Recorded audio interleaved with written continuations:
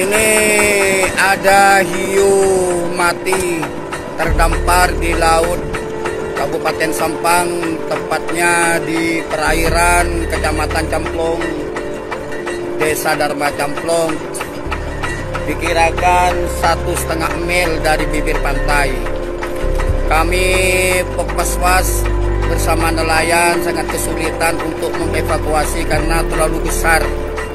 Hiu laut yang terdampar ini terlalu besar sejenis mamalia.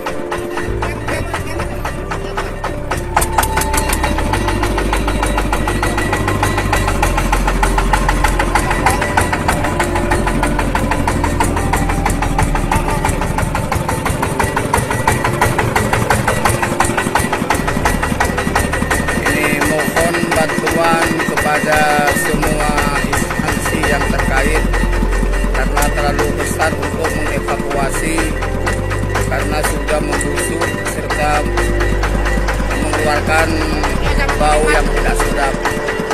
Mohon bantuan kepada semua pihak. Terima kasih. Sepanjang hampir 20 meter hampir 20 meter kesulitan kami untuk mengevakuasi